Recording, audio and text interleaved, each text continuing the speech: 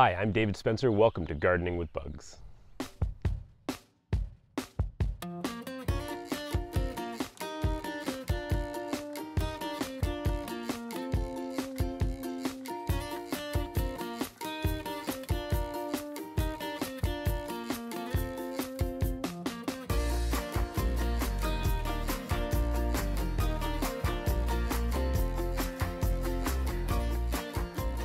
This video segment is strictly going to be about growing brassicas and the bugs that will accompany it.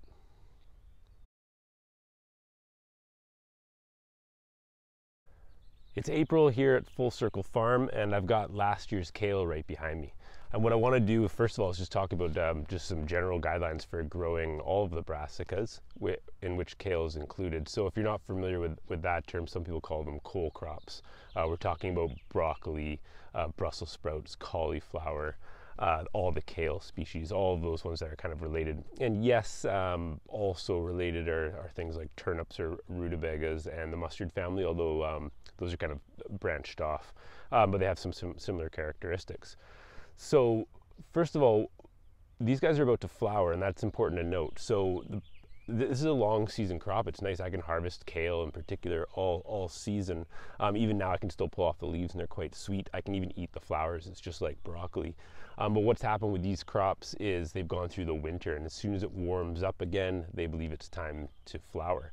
So if you're starting new seedlings and those seedlings freeze, they're going to want to bolt like this as well. So it's important to start brassicas right around now. I think I did mine uh, two weeks ago. Um, so I've started them indoors because they're around 20 degrees Celsius, just in normal like um, starting soil. And then I'll put them out in the cold frame, and that should be good enough. They do like it cold. Again, hot temperature can kind of stress them. So the germination temperature is key, obviously, to get them going. But then you might as well move them out and start getting them used to the used to the temperature. And if you do that this time of year, kale you'll have all season. Um, the, the ones that you want to flower, so, um, so broccoli and cauliflower, those ones are, are usually based on, on time from planting them, really, or time of season. So you can get two crops. If you put them in now, you'll see, you'll see the flowers develop sort of early summer. And then if you sow them again at the end of the summer, you don't really want to be growing them right in the summer because it's too hot. But at the end of the summer, you can start them again in a similar way that you would have done in the spring in order to get those, those flowering heads ready again in the, in the fall um, and the winter. Now, Brussels sprouts are a bit different. In theory, you do the same, but I actually plant them this time of year and have them right through the winter as well. The summer can stress them, but um, it just hasn't been a problem for me. So if I needed to, I could sow them again as well. This is our kale. And this is our baby kale. They cute? But let's talk about the pests. So here, first of all, you need to remember that you're growing food. Um, it's food for you, but not everything in the yard knows that. So you're you are going to get pests, and so the first thing is have a bit more tolerance because you are sharing this with with everything out here, and this in particular is very nutritious, and nature knows that, so they want a piece of it.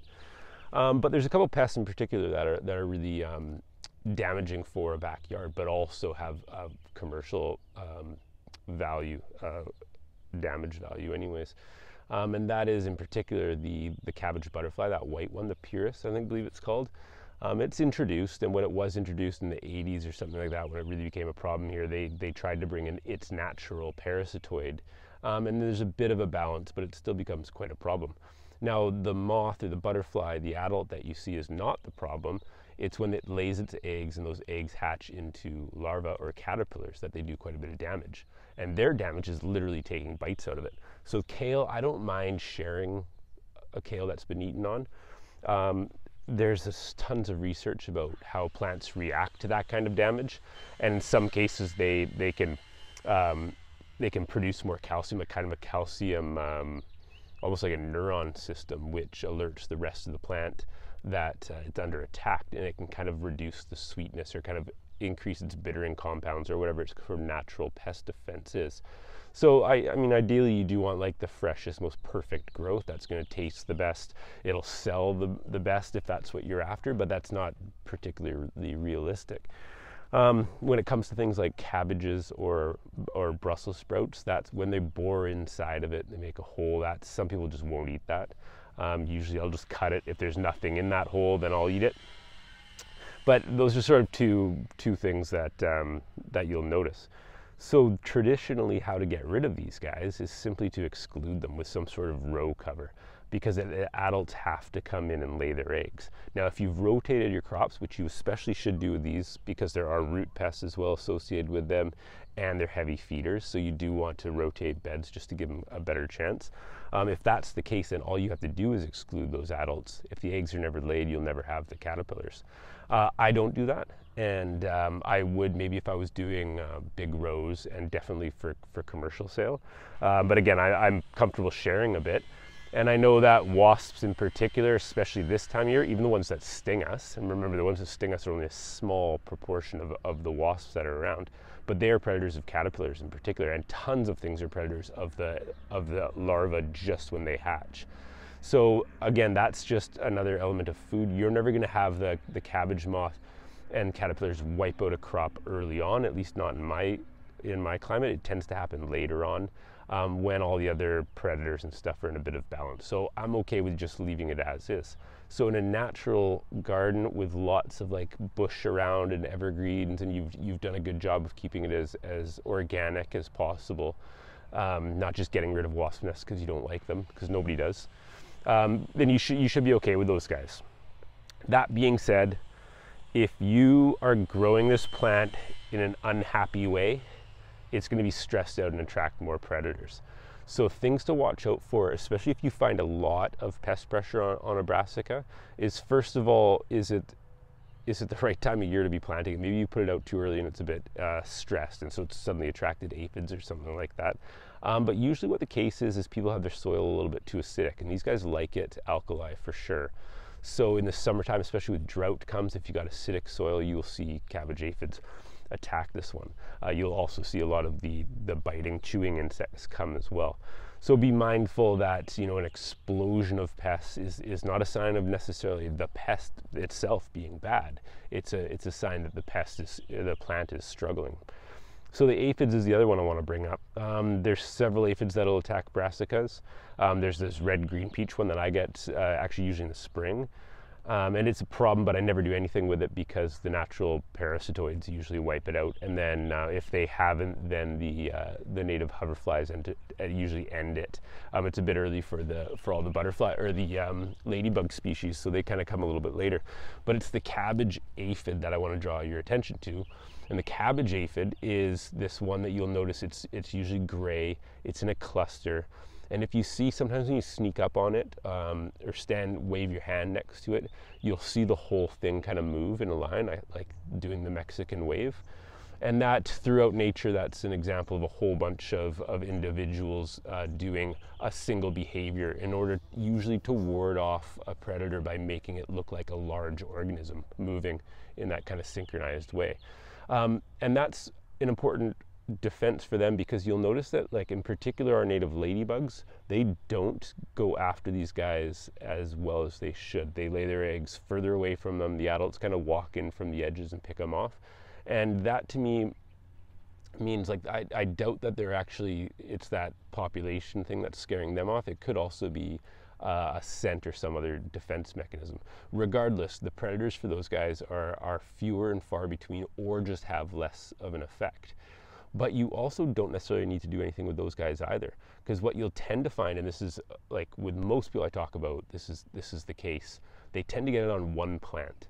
So if one plant, whether it's a Brussels or broccoli or a kale, will suddenly get or or mustards, will get this uh, cabbage aphid in a huge huge pile and usually the everyone's gut instinct is is remove that plant or hose that plant down now uh, what i want to suggest is just leave it um, it can only spread to other brassicas, so it's not going to like destroy your yard. But you do have to be mindful of where it goes. But by leaving it there, it will attract more aphids to that plant. Uh, that's where they'll spread. They don't tend to spread off as quickly to neighboring plants until whatever's stressing that individual plant has started to stress the ones adjacent to it. So again, you do have to be worried about drought in the summertime, um, potentially over overwatering. Although I've never seen that with these guys.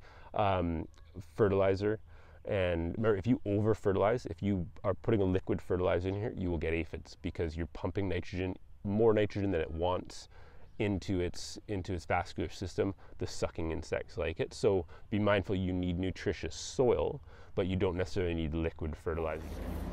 Oh, kale. But back to the back to the aphid, if you if you wash them off, same thing. They're going to crawl over to the adjacent plants and just feed because they have to be kind of constantly feeding in order to reproduce. So the important things to do with these guys is if you're if you're really struggling, um, it's past your threshold. Of course, you can cut off some of the leaves. You can just mush them with your hand. I know most people don't do that for some reason. They don't they don't like the thought of, of killing all those things uh, with their hands, but they're willing to spray it with all sorts of chemicals. Um, you can do that, but you have to also make sure that they're not already being parasitized because as soon as they're being parasitized, then you want to leave them there because the predators will always win out. Um, the parasitism will, will increase. Everyone that hatches will then parasitize um, exponentially more until you kind of get control. And it seems that once that population reaches reaches a low or a, a sparsity, that's when the predators like the ladybugs come in and clean it up. So those are really two pests that you that you need to be mindful of. Of course, the root pests and grubs and stuff like that. Again, it's a nutritious plant, so the roots are as well.